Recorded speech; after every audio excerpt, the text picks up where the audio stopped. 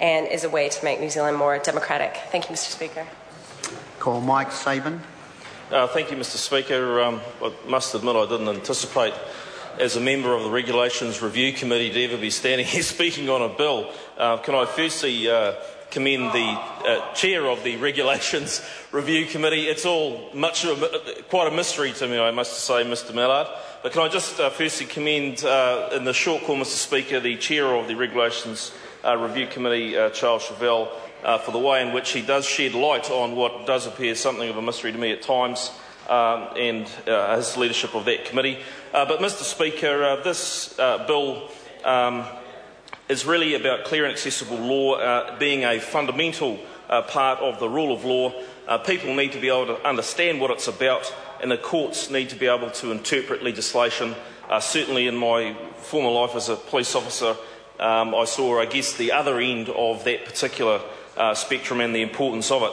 Uh, as has already been mentioned, Mr Speaker, the Law Commission has rightly said that uh, our statute law as a whole uh, currently lacks uh, the coherence, uh, is untidy and can be difficult to understand and use. and Mr Speaker, this bill obviously goes to the heart of that. legislation, this legislation bill supports the efforts of the Parliamentary Counsel Office and the Law Commission to address this problem uh, by tidying the statute books uh, and marking them, uh, making them easier uh, to understand. And I think, uh, uh, Mr Speaker, we, have all found consensus in, in, that point.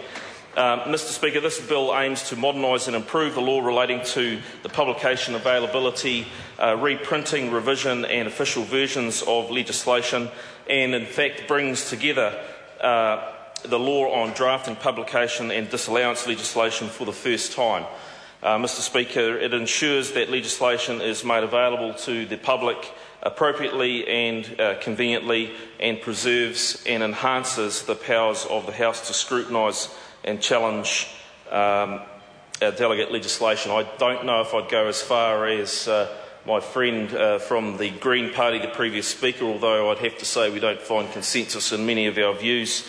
Uh, but uh, I won't uh, delve on that point, Mr Speaker.